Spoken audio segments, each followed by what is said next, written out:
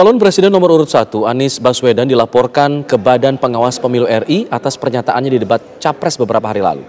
Anies dilaporkan karena dinilai menghasut dalam debat Capres dengan tema pertahanan, geopolitik, dan hubungan internasional.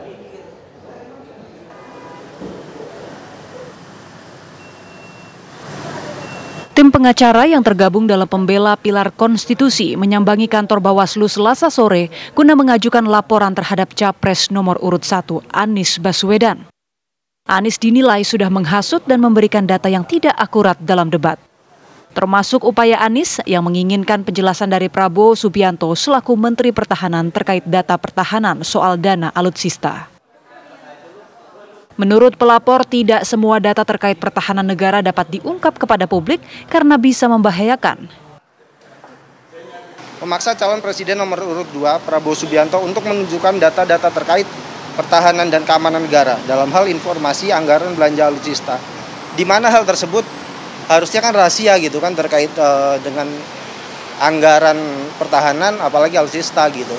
Harusnya hal-hal tersebut tidak boleh uh, disampaikan pada publik karena bisa membahayakan negara gitu kan apabila pihak-pihak asing sampai mengetahui hal rahasia seperti itu.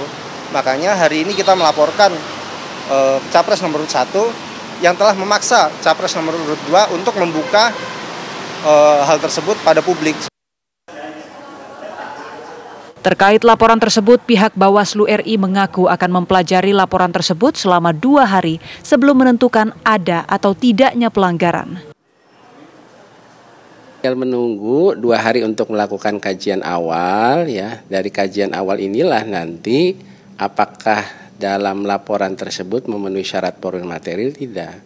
Apabila nanti memenuhi syarat poin material bisa dilanjutkan klarifikasi. Jika nanti tidak memenuhi syarat poin material, ya kita sampaikan kepada pelapornya terhadap peristiwa yang dilaporkan tersebut gitu. Apakah hal tersebut uh, pelanggaran atau bukan pelanggaran gitu.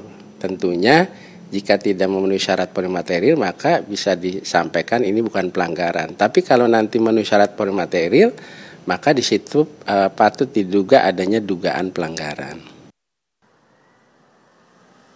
Dari Jakarta, tim TV One mengabarkan.